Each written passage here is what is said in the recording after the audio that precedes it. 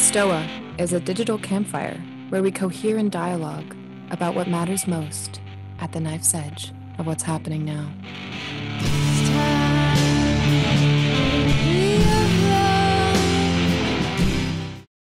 All right, everyone, welcome to the Stoa practice potluck. Um, yeah, so we have uh, Joe Edelman here today, uh, going to show off uh, something called Meaning Supply uh, and how to be involved in it. I'll let Joe do the explanation. Um, very happy that Joe's here. Uh, my number one crush, as people know, is Bonnitta Roy. My number two crush is Joe uh, Edelman. So there you go. he's trying to work his way up to the top. Uh, he, has some, he has some work to do though. Uh, so that being said, uh, this is gonna be a very interactive session. Uh, it's gonna be recorded. I'm gonna tag in Joe right now, and then uh, he'll he'll he'll talk about what we're doing here. So there you go. Thank you, Peter. We should do a Stoa session, which is just me and Bonnitta Roy trying to be cute. Like each of us trying to be cuter than the other. We could have it like a wrestling match where we, or like a debate club where we each get three minutes of cute and then there's like some declaration about who was cuter in those three minutes? I don't know if I can handle that. That's that's, that's too much for me. Too much for the stoic. I'm up for it. That's all I'll say.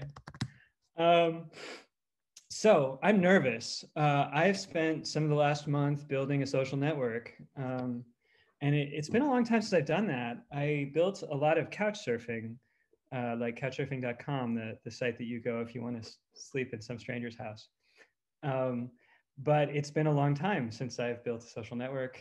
Uh, and uh, yeah, and I haven't really, we have about 20. All right, so he froze, right? Um, Joe, uh, uh, Joe, you're frozen. So it's a good pose that you got frozen in, though. I have to admit, it's not the worst. Joe. well, we tried to entertain these lovely people in your absence. Thank you, Jess and Peter and whoever else was the entertainer. Um, sorry about that. I, actually, where did I get cut off? Should I should I resume? Are you guys doing something more important now? You said you were working on meaning supplies and you're working at couchsurfing. Yeah, it's right oh, in the yeah. beginning. I was saying I was nervous because it's the first social network I've built in a long time. Um, and it's brand new, kind of, it's like software made by me that I'm going to share with you today. Um, but the software is not the important part, or it's kind of important, but um, the thing that I'm really excited about is um, to that it can be a place where we learn from each other. Um, and so, yeah, my plan, I hope my, if, if my internet goes away again, I'll come back faster. I'll, I'll use my phone. my plan is to share my screen and, uh, and give you guys a, a, quick tour of the site. Just click through a little bit um, to show you kind of uh, how it looks when, I, when I'm using it. And then to talk a little bit about um, what we're gonna add and then just all go over to the site and try to add stuff. And probably some things will be confusing. We'll get some bug reports, but probably we'll also add a bunch of great practices and then we can look through them and, uh, you know, and more. So let me share my screen and get started. Um,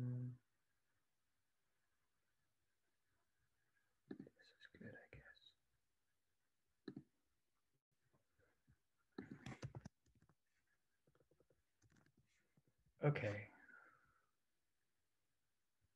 So this is the site. It's called Meaning Supplies. And the goal is, it's a long-term goal, but the goal is eventually to make it um, uh, good for everything you need for a meaningful life. Um, but I'm starting like in, in a niche, and that's with uh, group practices, group activities, group practices. Um, these are a big source of meaning for people. Later, I'll add personal practices like meditation techniques and things like that. Later, I'll add larger structures like uh, uh, organizational structures, social networks, apps, things like that. Um, so for now, it's just group group activities. If I click here, you can see I can also look at organizational structures, but there's very few of them on the site. and you can see there's a few people, some of them here, that have already been editing the site, but it's very few people. These are all of the people that have used it uh, in this little list right now. So if I want a group activity for curiosity, I can just kind of select that and click go. And then I'm on this page. And you can see there's a bunch of uh, group activities here, and they have instructions. And if I want more information about one, I can click it. Um, I don't know why it says I tried this with a chicken. That's it's some of the content is not in the best best situation, like the best. Uh, it needs a little work. So you know each one has a title and a description. Um, you can edit the description, and it's in Markdown. So you can write if some of you know Markdown, you can write you can bold things and make links and even embed images and stuff like that. Um, and each activity also has reviews. So um, there's sort of two buttons attached to each one. I played this and I want to play. And so one of the things that I hope to do today is um, we'll add things and then we'll see if we want to play other people's activities. And if we do, um, then uh, uh, then we can kind of organize around that. So here's this game, Human Camera, that I've never played. Um, I can read a little bit about it. This is really ugly. I need to make this look better. There's there's a lot of bugs in the layout and stuff like that that I still need to work on. Um, so I can see what other people's experience is. This this page is about curiosity, right? Um, but there's different kinds of curiosity, and so um, this game, Human Camera, is supposed to be good for this kind of uh, curiosity. It's called follow and trust. Oh, I need to just. Hmm. Um, I'm gonna. That page will improve uh, uh, a little bit as we work. There's like a later version of the software that I need to up upload. And if you want to add one, uh, you can you can click here, and uh, you name it, and you can write a description and then you write a kind of review. The reviews look like this. Um, so if you have a particular practice and you've done it and you want to describe it for other people, you can say what kind of curiosity is it good for? How often do you play it? How often would you like to? Um, these kinds of questions. And then your name will appear next to this, uh, I played this button here. And that's most of what it does. Uh, the only other thing that I'll show you is that you can make custom lists. So if you have an event, you can make a page for it. Um, and uh, you can make a new page just right here where it says new list in this corner. So I can name a new list, like I can see, say games we played at the STOA, create it. I get a, a, page for my new list and I can immediately edit it and start adding uh, activities to it, right? So there's my new list. And you can see it's in my URL. So it says meaning supplies, Edelwax games we played at the STOA is now a URL that I can share. Other people can uh, try out these games, say that they want to play them, that kind of stuff. So that's my little tour. I'll stop sharing and maybe if there's any questions, uh, I'd love to answer questions before we all kind of jump in. And uh, I think you can just unmute yourself and speak because there probably won't be so many questions. Hey, uh, yeah, I got a question. I was looking at the other day. Is there a way to just see a list of all the activities that are on the website so far? Yes. Uh, uh, it's kind of hidden. um, but yeah, there's a URL. You can say, here, I'll go back to the site. Uh, so you can look at all group activities by going to all group activities. And you get a kind of an ugly list, but it shows what everything has been reviewed for. And there's some activities that are reviewed for multiple kinds of values. Um, yeah, so, and there's some that that are have been reviewed for none. Uh, other questions?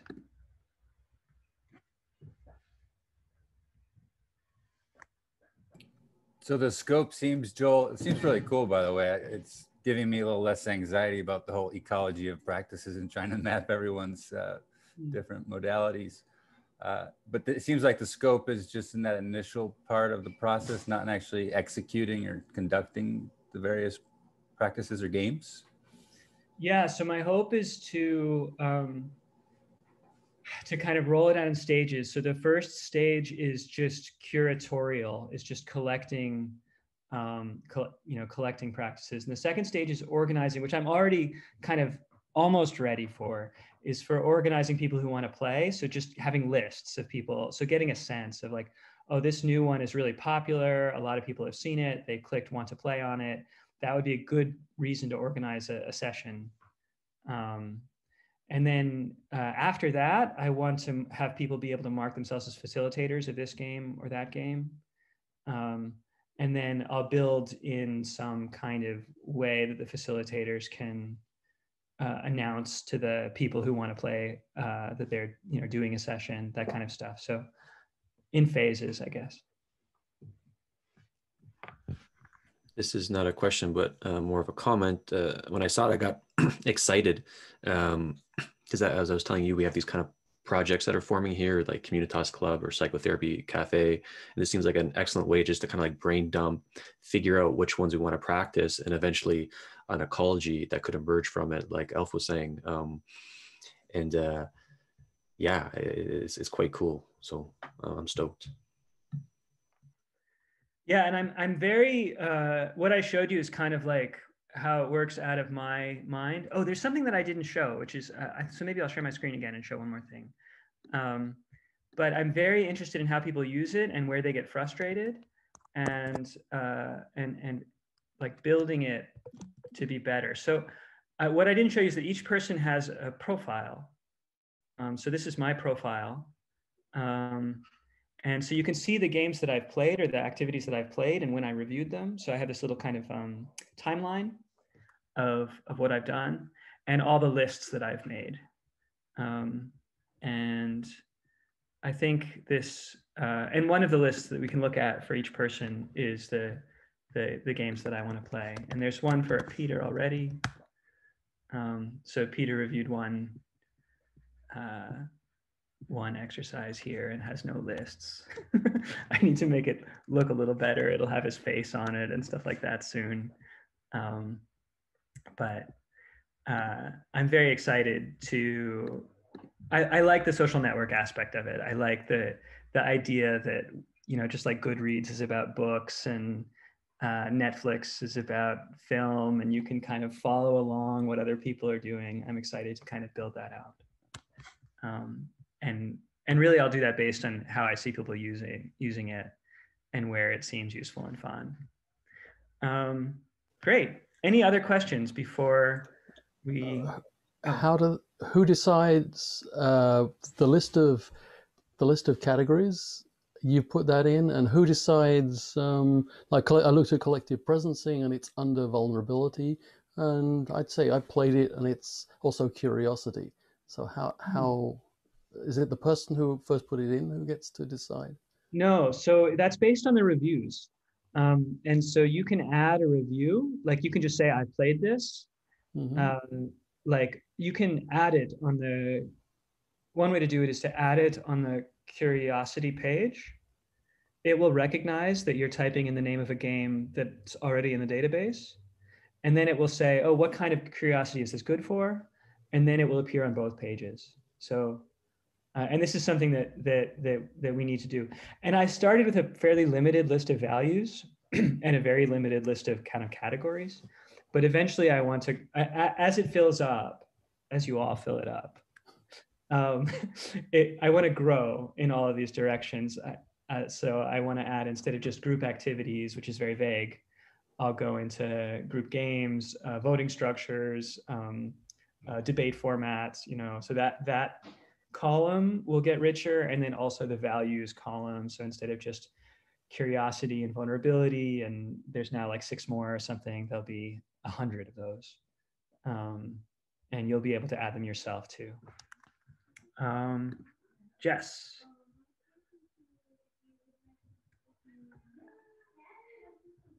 Oh, Yeah. uh, No. whether it's to be used by the STOA. No, it's for everyone. It's just in a very rough state um, because I've been working mostly on the software and not, not on the content. Um, so I think we should try uh, to, to jump in and see uh, how it goes. And um, I, what I'd, I'd like for everyone to do is, is go to the site, which I'm putting the URL in, uh, oops, I have to send everyone. Go to the site and, oh, about I want to play. Well, eventually, I'm answering Billy's question in the chat. Um, I don't think that the facilitators need to be facilitators of the STOA. I think the STOA's Wisdom Gym is one of the best groups of facilitators like doing stuff online that I know, but there's actually several. Um, there's uh, the Authentic Relating community has a platform called Connect, which is also a Zoom room with uh, a schedule. uh, so this is kind of comparable to the Wisdom Gym. It's not as good. Um, uh, and there's the Interintellect. There's like many different of these kinds of things, and I, I think they can all use it. Um, yeah, yeah, of course you can share with your friends. Yeah. Um, so I put in the uh, URL. Uh, oh, not yet, Joel, but that's one of the things that I want to add. Like a subset of group activities will be like group activities that work in Zoom. I don't actually know what to call them, but uh, yeah. Um, so yeah, jump jump to the site, try to make an account. It'll ask you to make an account, uh, and then try to add something or review something that you see, and complain to me. Um, and Billy, the, the answer to that is uh, it, it doesn't yet. There's a list of people who want to play, so you can see the list of people who want to play any particular game, but um, uh, but that's all for now. But later there'll be some way of kind of contacting each other and organizing. I connected with Google. Should I not have done that? Because it's now telling me an error has occurred if I try and go to my profile. Should I have gone in, or should everybody else go in some other way? Oh, uh, has anybody else had Google work? I just logged in with Google for the first time and it worked okay. I'm logged in, but when I go to my little profile thing and try and look at my profile to see what was there, it says an unexpected error has occurred. Uh oh, I'll look into that. Okay, that, so I didn't do anything bad, didn't do anything wrong. Yeah, I, I'm getting the same error when I try to look at my profile. Okay. Cool. Okay, I'll, I'll look into it. It's probably maybe your profiles don't work yet. I guess that's what's happening. And just other feedback, I didn't even get there because, but uh, there was no prompt to create an account. So I guess I maybe just had to go in and sign in, and then that's where they did their thing. But Yeah, I just signed in and it said Google or Twitter, and I clicked Google. Yeah, Twitter's a little better tested, but I, it's probably a bug that I'll, I'll, I'll try to fix it. I'll see what, what I can do.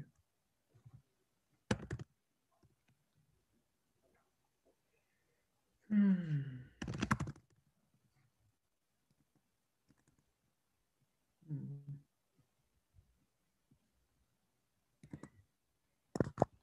And by the way, virtual would seem a good category to cover Zoom and anything else.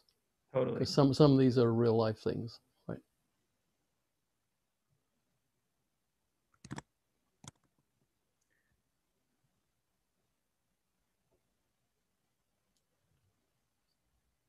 Yeah, it may be that your profile just doesn't work because there's nothing on it. And maybe profiles don't work when there's nothing on it. So maybe try adding a game or reviewing a game and then try your profile again.